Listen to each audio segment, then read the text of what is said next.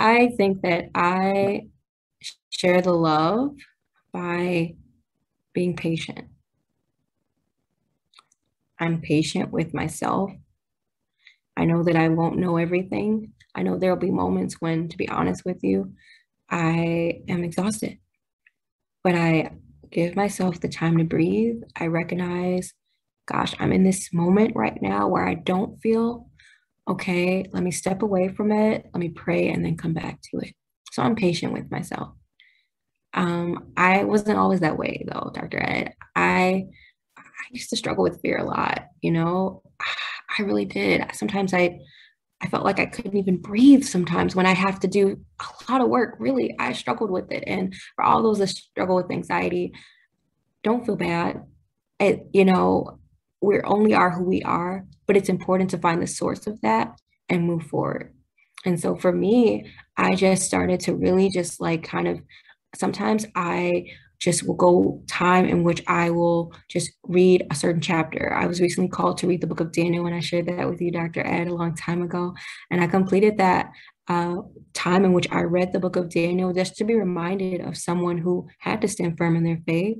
And then also, how do I spread love? I fast, to be honest. That's how I spread love. I deny myself something so that I can have more compassion for others. So, what does that even mean, right? You can deny yourself food um, or deny yourself breads. You can deny yourself um, social media. You can deny yourself watching your television show. Take that time to put it towards reflection and meditation. And when you do that, you will have a calmness, you will have a quietness, you will have a patience, and ultimately be able to spread love because, you know, I believe that patience, you know, love and patience, right, you know where I'm going with this. Um, I can't say right now because I can't think right now, but just patience creates the opportunity for you to have love. That's good. I love how you say like you you can cut out certain things, and when you cut out certain things, you can hone the trade God has given you. Oh yes, yes. And you can spread the gospel of Jesus Christ or the love of Jesus Christ through those things. So say if you're not, say you're a surgeon or something, you don't know how to do this procedure, you would mm-hmm. cut out mm-hmm. the TV hone in on the, the gift God has given you. And then next time you get a patient like that, then you can perfect what you've been learning. And that will help demonstrate the love of Jesus. And I love how you talk about patience because patience is like a is a scarce commodity nowadays. yes. Like everybody wants to cancel people. You say one wrong thing, you're canceled. You say this, you're canceled. And I'm like, it's crazy because the most perfect person who ever lived the earth they counseled him. They crucified him. this is crazy. Like, so I think people, if you want to protect your mental health, if you get counsel, it's okay because they counsel Jesus. You're not perfect. He he was perfect. They counseled him. So yeah. I think just right there is like just realize that you're not in this boat alone.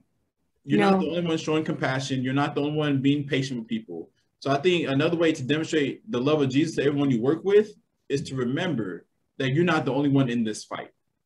Because sometimes yeah. you want to stop showing love because you're like, I'm the only one showing love. I'm the only one pouring out to people. I'm the only one encouraging. And then sometimes that will shut off your love. But I think people just need to remember that you're not in it alone.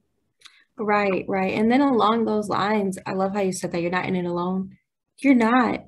So if you're not in it alone, what must you do? Get to know the people you work with. Honestly, you know, you may be of a different faith, you may speak a different language, but the one common thing to everyone is a meal.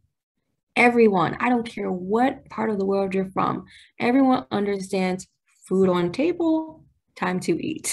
like everyone can do that. And goodness gracious, whether if you just wanted a sip of coffee or something to, you know, a, a dessert, you know, as long as it, you know, tastes right, you know, people are going to like it and people are going to smile and be fed. And, you know, that's why, you know, the Bible says God is, you know, the living bread, right? You know, and so be, you know, God, you know, give us our daily bread, right? You know, just be, God, give me the portion I need today.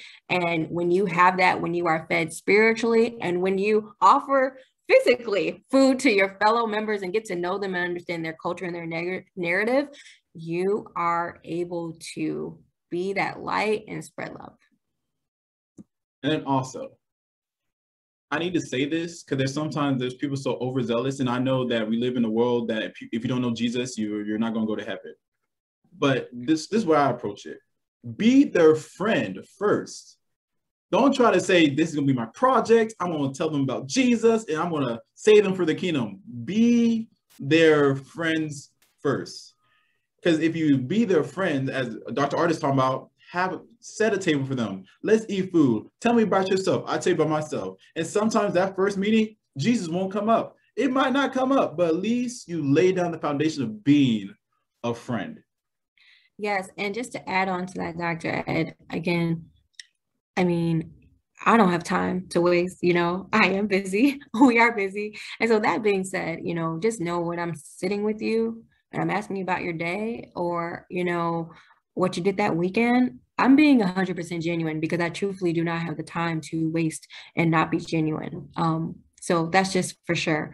And I'm getting to know you because I genuinely care about you. I care about how you are just you. I don't care even how you relate to me. I care about you as a person and your well being because I want to make sure that you know, if I can help you in any way, I'm there and that I'm there to listen. And so I truthfully am not, it's not even like a first meeting. It's like, I just genuinely want to know you. But I'm prepared if you have to ask questions and you want to ask questions about how how are you again so happy how are you able to approach some of these tasks without any stress how i'm able to i'm ready and willing to talk to you so i don't honestly don't care if we've ever talked about my faith to be honest with you you're you and I'm me, but I'm prepared and I'm ready and I'm willing and I'm open. And so again, being loving is about being open. And Dr. Ed, I just am so grateful how you've been so open with me about your faith and even challenging me to just be better in the short amount of time I've known you. And so we have to continue to do that in our respective professions.